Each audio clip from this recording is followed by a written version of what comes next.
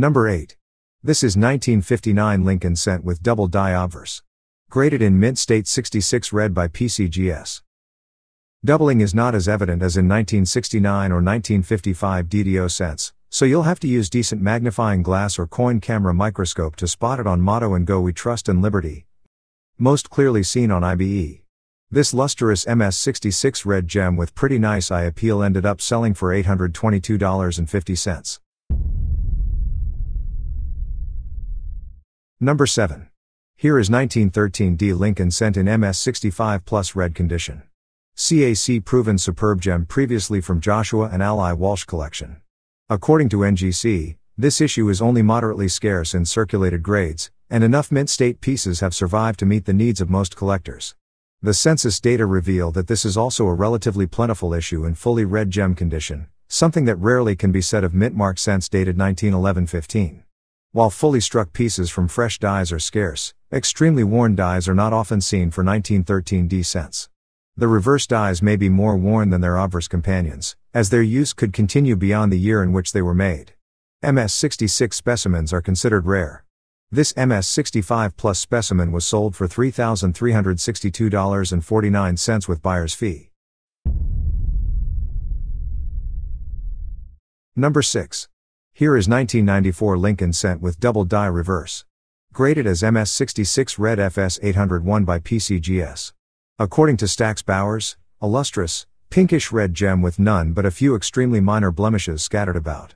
First reported by James Mattaliano, this DDR of the 1994 Lincoln cent exhibits pronounced doubling to the final three columns on the Lincoln Memorial.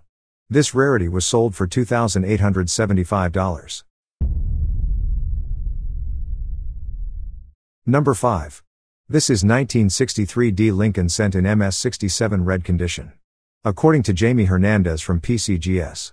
The 1963 D Lincoln cent is the toughest Lincoln cent from 1930 to date to find in MS66 red condition, even tougher than the 1931S in MS66 red. The second toughest Lincoln cent in MS66 red after 1930 is the 1962D and with the 1973S being the third toughest in MS66 grades. Most 1963D Lincoln cents are found with nicks, specks, spots and scratches. They are also very weakly struck and are very dull and lackluster in their appearance. A few coins can be found with some decent luster, but more than likely, the coin will be plagued by one of the other aforementioned defects. MS67 specimens are rare and fetch pretty nice premiums. This one was sold for $2,820. Number 4. Here is 1927 S Lincoln cent in MS64 plus red condition. Comes with CAC approval.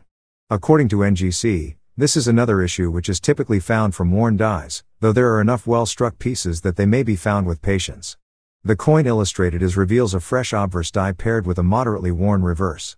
Finding a 1927 S cent struck from matching fresh dies is a rarity, though it seems to be more likely than for the S mint cents of the preceding several years.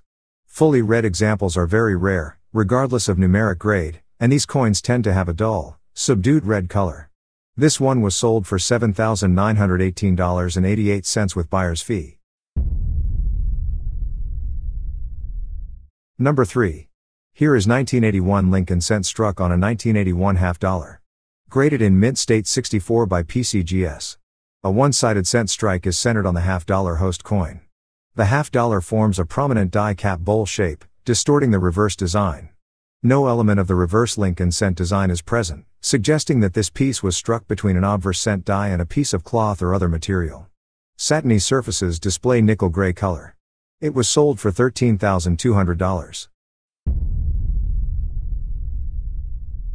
Number 2. This is 1943's Lincoln cent struck on a Type 1 dime planchet. Circulated error coin in a grade of AU53 given by NGC.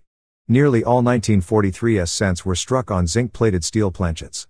A few were struck on copper planchets left over from stock intended for 1942 dated dies, and those pieces are out of the price range of most collectors.